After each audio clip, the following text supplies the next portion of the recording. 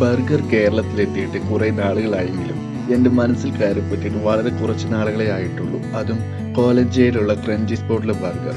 ഈ വാലന്റൈൻസ് ഡേയിൽ എന്നോടൊപ്പം ക്രഞ്ചി ചിക്കൻ ബർഗറുമുണ്ട്.